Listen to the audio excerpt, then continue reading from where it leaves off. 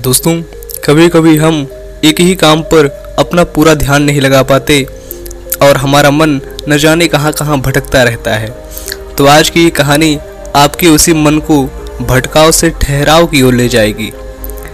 एक राज्य में एक अत्यंत प्रजापालक राजा रहता था। उसके राज्य में प्रजा अत्यंत प्रसन्न थी और चारों ओर खुशहाली छाई हुई थी। और उस राज्य का राजा बहुत ही दयालु और प्रसन्न रहता था। उसका राज्य भी बुलंदियों को छूता हुआ आगे बढ़ रहा था। परंतु समय पंख लगाकर कब उड़ गया, पता न चला, और अब राजा बुढ़ापे की दहलीज पर कदम रख चुका था। और उसकी कोई संतान भी नहीं थी तो इस बात को लेकर राजा अत्यंत दुखी रहने लगा, और उसने एक दिन सोचा कि मेरे बाद मेरे राज्य का क्या होगा। कोई तो हो जो मेरे इस राज्य को बखूबी संभाल सके।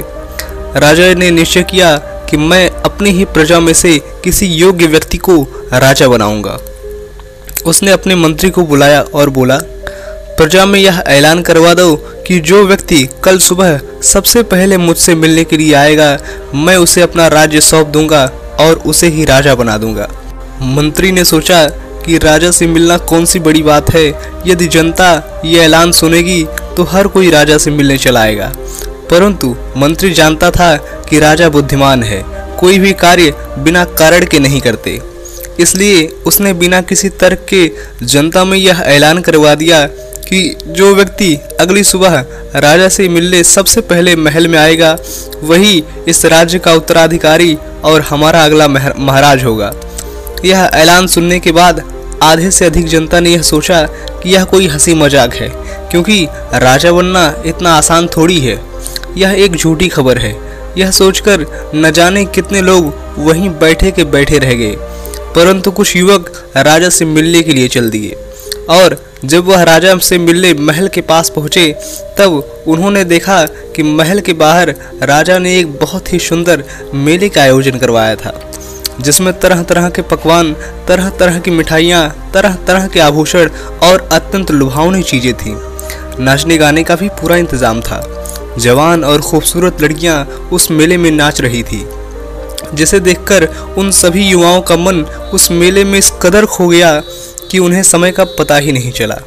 और अब इधर महाराज महल में बैठे इंतज़ार कर रहे थे कि काश कोई युवक उन प्रलोभनों को पार करता हुआ मुझसे मिलने के लिए आ जाए तो मैं उसे अपने राज्य का उत्तराधिकारी घोषित कर दूँ।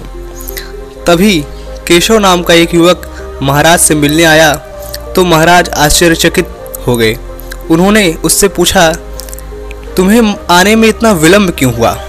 क्या तुम भी मेले के आकर्षण में कहीं खो गए थे? उसने कहा, नहीं महाराज, मैं मेले के आकर्षण में नहीं खोया, बल्कि पास के ही गाँव में किसी कार्य से गया था। अभी कुछ देर पहले लौटा तो आपके ऐलान के बारे में सुना तो आपसे मिलने चला आया।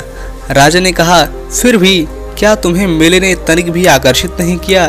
क्योंकि मेले में इतनी सुंदर सुंदर चीज़ें थीं तरह तरह के पकवान बने हुए थे तरह तरह के आभूषण थे, और तरह तरह से लड़कियाँ नृत्य कर रही थी। क्या तुम्हें इन सबने ज़रा सा भी आकर्षित नहीं किया?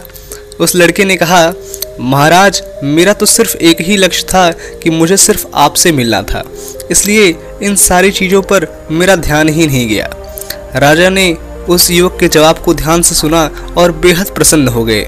उन्होंने उस युवक को अपने राज्य का उत्तराधिकारी घोषित करके राज्य का महाराज बना दिया। दोस्तों, इस कहानी से हमें यह शिक्षा मिलती है कि हम यदि अपने लक्ष्य पर सिर्फ़ और सिर्फ़ लक्ष्य पर ही निगाह रखते हैं तो एक दिन ज़रूर हमारी मेहनत रंग लाती है और हमारा लक्ष्य हमारी आँखों के सामने होता है। दोस्तों, आपने बड़े धैर्य और विश्वास के साथ मुझे सुना। आप सभी का बहुत बहुत आभार। यदि आप चाहते हैं कि मैं इसी प्रकार से वीडियोस बनाता रहूँ तो कमेंट बॉक्स में अपना योगदान ज़रूर दें। और आप किस टॉपिक पर वीडियो चाहते हैं, मुझे कमेंट बॉक्स में आदेशित करें। आपके हर आदेश का मैं यथाचित पालन करने की कोशिश करूँगा। धन्यवाद।